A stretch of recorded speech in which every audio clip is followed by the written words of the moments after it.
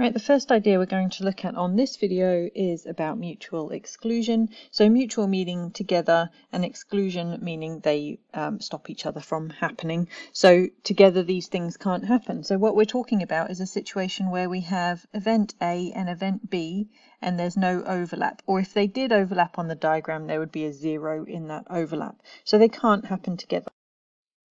So if we do this in probability notations, it would be the intersection or the probability of the intersection of A and B is equal to zero.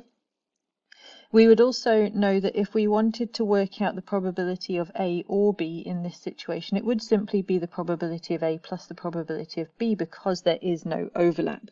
Whereas previously, if we had to do an overlap, if we added the two together, we would have to also subtract the intersection because that overlap had got double counted. But where it's uh, where we have mutual exclusion, um, then those the A and B would just simply add up to being A or B, and that's one where we, we that's something we can use to test whether something is mutually exclusive or not. And a term that goes hand in hand with mutual exclusion is whether events are complementary. So this happens when two events, um, if their probabilities add up to one, and we um, think about it as like A dash being the complement of A, or we often think about that as being A not happening, and complementary events are mutually exclusive. You can't be both in A and not in A, although Schrodinger and his cat might disagree with you, but that's a topic for another day.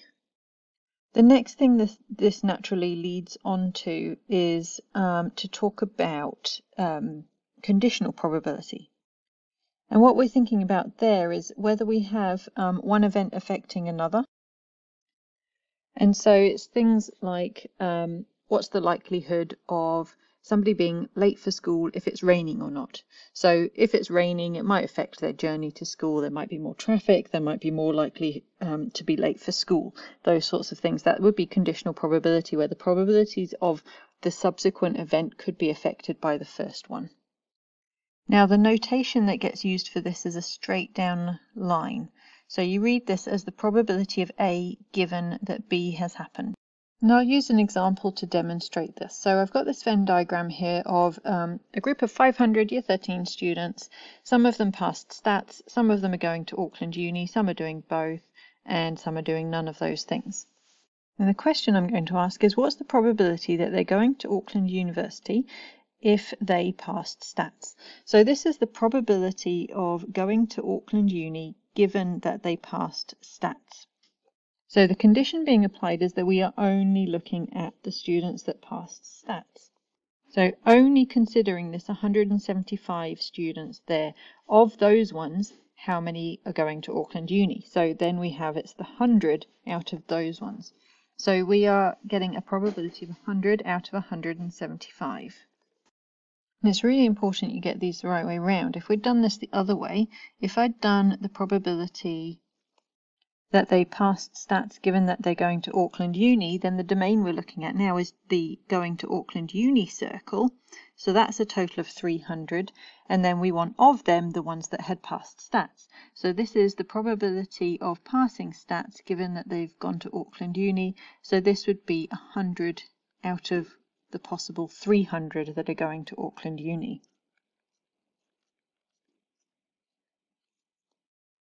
Now there is actually a formula that applies to this, and it is that if we've got events A and B, the probability of A given B is equal to the probability of A intersection B over the probability of B. So uh, the intersection meaning the place where A and B both happen, and divided by our restricted domain of only looking at that condition of B. And if you take a look at the examples we did above intuitively, that's exactly what we did. So the 100 was where both of them happen.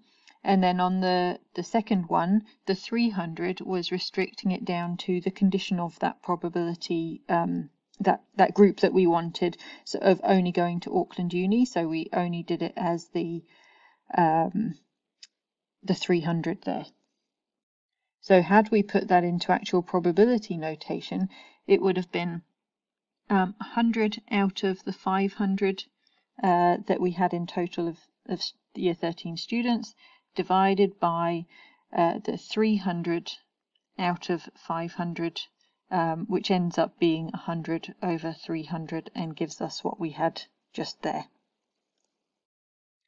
For most questions, I would go about trying to set it up as a diagram and think about it intuitively like we did to begin with, but this formula does get given to you on your formula sheet, so if you're happy using that, go ahead with that.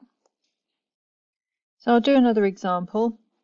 I'll set this up as a table so you can see how to do it that way as well. All right, so Mr. Hall decides to look into the year 13s that have uh, bought tickets for the ball and that haven't, and how many credits they've got in terms of whether they've got level 3 or not. And we've got that summarized in this table.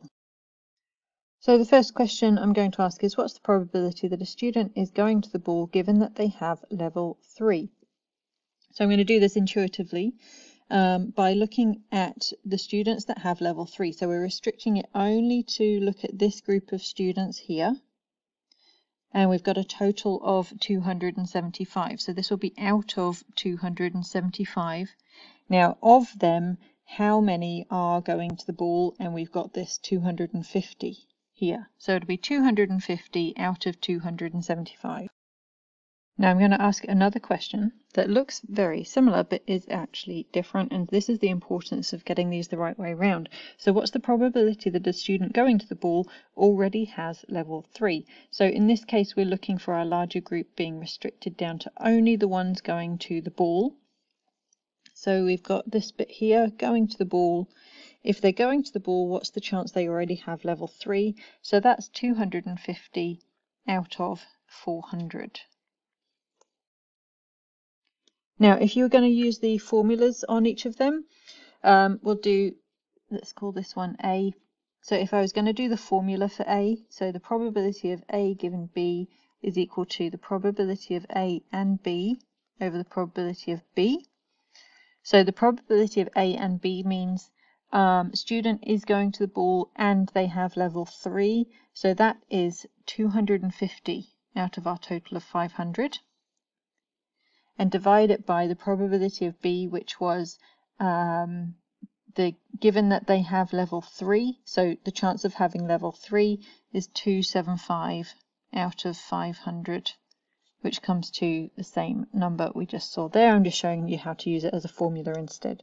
If we call this one part B, I'll do the same with this one for people that prefer to use the formula.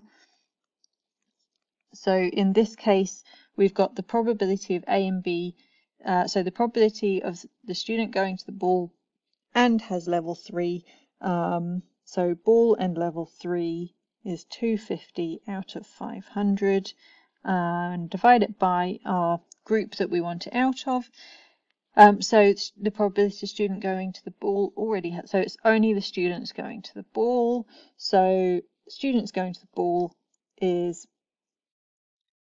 400 out of 500 and that comes to 0.625. However you want to do this, whether it's using the formula or going for a bit more of an intuitive approach, that's totally fine.